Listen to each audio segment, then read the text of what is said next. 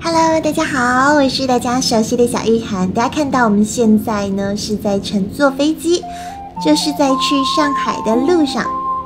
那么去上海干嘛呢？大家肯定都知道，就是去参加西瓜 Play 的游轮之旅。那么现在呢，我们已经是呃第二天早上了，我们现在要离开酒店，然后去这个搭游轮。顺便给你们欣赏一下上海沿途的风景。这样大巴上坐了很多啊不同领域的主播，还有视频创作者。大家看到了吗？前面那一艘大大的就是我们今天要登上的游轮。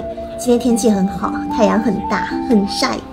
好了，我们现在已经到了上海吴淞口的这个呃游轮港口。好啦，我们刚才已经过了安检，现在带大家看一下我的房间和樱桃酱一起住的房间。他们，哇塞，累死宝宝了。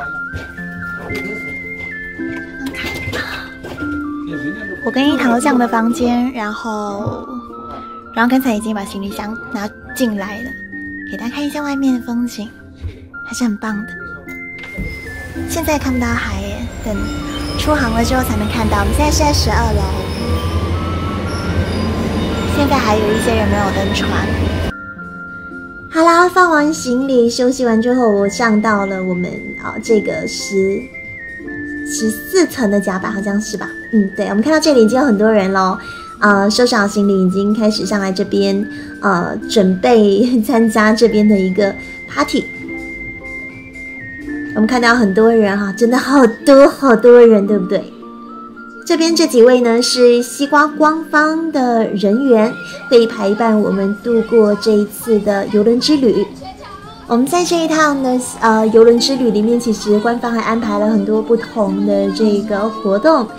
然后现在呢，呃，是由这位谢东升小同学为我们介绍这一次的游轮之旅。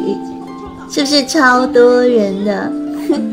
这是其中一个活动啊，这个应该不是那个电影节吧？好像是吗？反正就看到一堆人在跳舞就对了。你猜我有没有下去？我下去跳的话，谁给你们拍视频啊？至于我都在干嘛？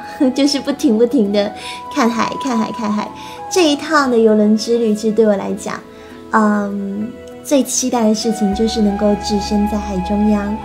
看着一望无际的大海，那种感觉最棒了。在下一期的视频呢，姐姐将会带你们去看一下，呃，有很多的作者可能没有看到的，在游轮里面的另外一个地方，嗯，就是游轮上的工作人员，嗯，日常都是怎么工作的，好吗？那我们下期见，拜拜。